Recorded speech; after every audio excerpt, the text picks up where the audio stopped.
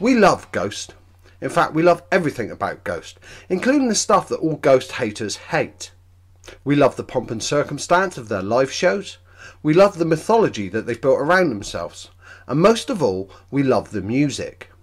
We think that Tobias Forge is a damn genius, if truth be told. Here is someone who is a blatant student of metal and rock, but is intelligent enough to know that you catch more fish with a good hook than a bad one, so he isn't afraid to use pop sensibilities to make the songs he writes catchy and memorable. Now, we're not so completely in love with Ghosts that we don't find some of their tunes out of our wheelhouse, but we appreciate them for what they are and then skip over them when they come on.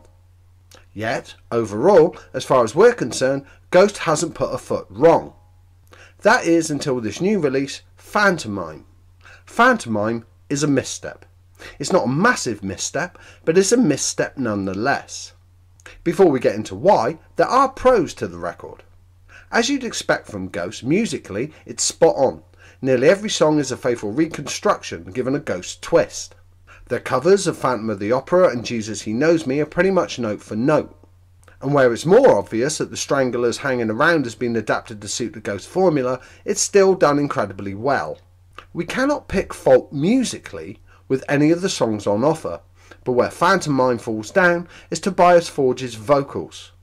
Tobias Forge is a clever man and knows his limitations as a vocalist, so all of Ghost's material is written to suit his range, and that's why it works so damn well.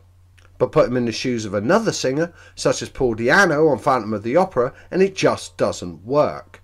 It's flat and uninspired.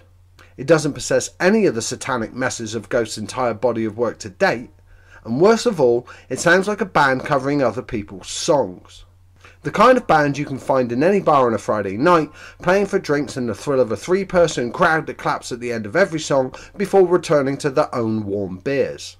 Hell, he doesn't even manage to sound inspired on Jesus He Knows Me, and that was sung by Phil Sotting Collins for Christ's sake. The only time it does work, as far as we're concerned, is on the Stranglers cover, but one out of five is not a good average. Look, we don't hate Phantomime, but we do feel it's going to be nothing more than a forgotten footnote in the career of Ghost when they finally hang up the mask and the face paint, and that makes us sad. Everything Ghost does should be an event, and this is more like a picnic in a rainstorm than a banquet in a castle. But what do you think? Do you agree with us? Is this a misstep, or are we wrong about Phantomime? Sound off in the comment section and let us know.